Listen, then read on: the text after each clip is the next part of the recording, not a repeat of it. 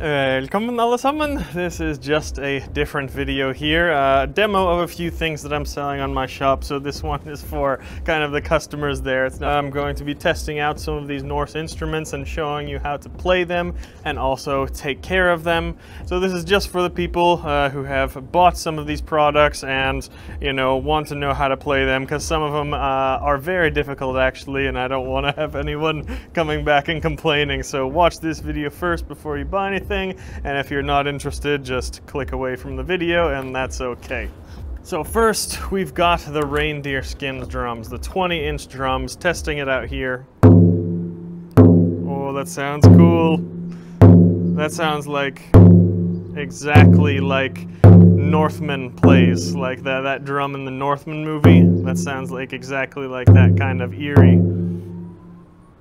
Uh, so the way I've told my guys to make drums is I've made it like this basically. Um, and they will usually use the um, the rawhide to uh, lace up the drums like that but I had them use the uh, leather string because I feel like it just makes a better uh, resonance sound like that.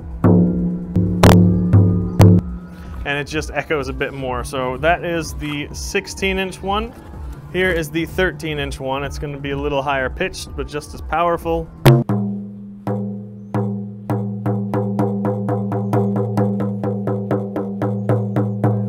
And again, those are both reindeer skins. Then we have the goat hide drum. This is also from Norway like the reindeer skins, but this one, the goat hide is tougher, but it can also be stretched um, tighter. So that's, that makes a little bit more of a high pitched sound on the smaller drum. This one is the 13 inch. This one's not like the reindeer hide would be a kick drum, and this one would be kind of like a like a tapping one, like for cooler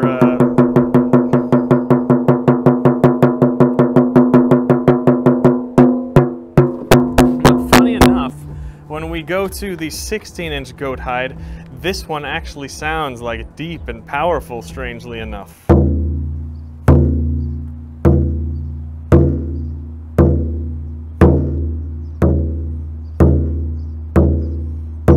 So that's more like a deep bass type of drum. So those are both cool, the goat skin ones. And for taking care of these, um, the, really the warmer it gets, the better it gets. So you can rub it like this if it's a bit cool and the warmer it gets, the more like flexible it's going to get, and it's also going to um, basically have a deeper, like more uh, rumbling sound. If it's cold, it's not going to sound very good at all, um, but if you warm it up, but not too warm, of course, then it's going to sound perfect. And, and again, drums change with time. It's They're tight now because they've just been made, but over the years they will get a bit looser and the sounds will get deeper, um, but it's, it's much better to do that because it loosens naturally with age. It's better to do that than to lace it up too loose at the start and then it sounds powerful for the first few months but then it makes no sound at all after that because these are quite difficult to tie once they've dried.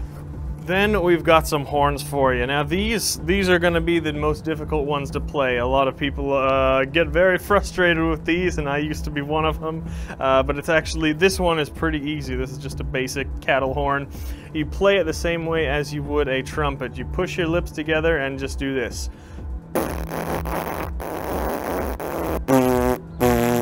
And you're going to have to play with it a lot because uh, different horns are going to have that perfect spot. You know, you're going to need to put your lips sometimes a bit higher up, sometimes a bit lower. You might have to give hard pressure, you might have to give soft pressure, but every single horn will work. Don't order one of these and say, oh, I can't play it, it doesn't make a sound. No, every single horn is able to make a sound. It just takes some skill and practice, and you have to find that horn's uh, sweet spot. So we're trying out this one first.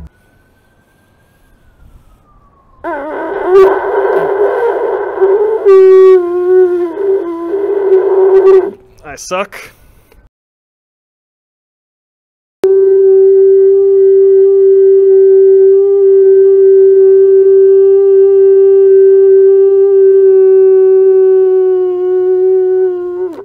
See that? And that sounds fine.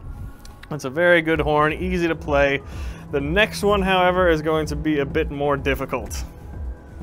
So these are the Bukkehorn, and these are the horns made out of ram.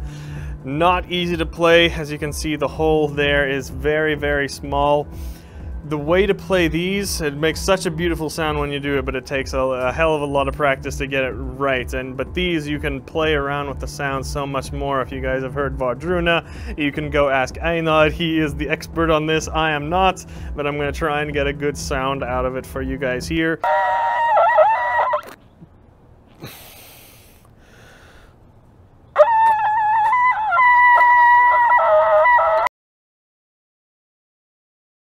You're gonna even have to like especially with this one even like slight movements like moving it like a millimeter to the right millimeter to the left that might make the difference where the actual nice sound comes out of it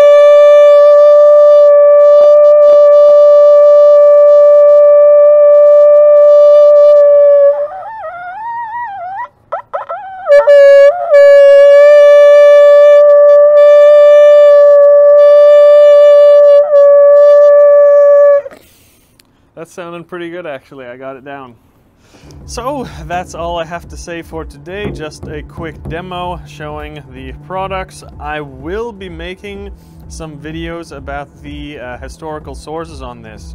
What the Norse sources say about drums, what the Norse sources say about horns, because both were very, very important spiritual instruments even, not just instruments for playing music, but a strong part of the spirituality. So I will be doing a video on that.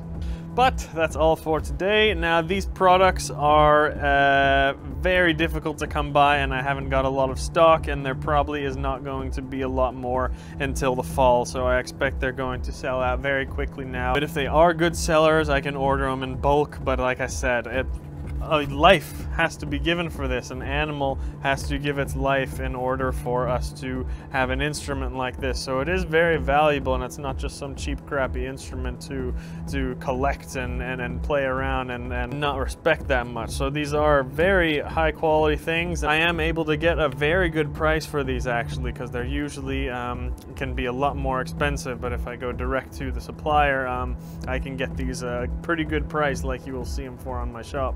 But still, an animal has to die just to make one of these. Sometimes you can get two out of it.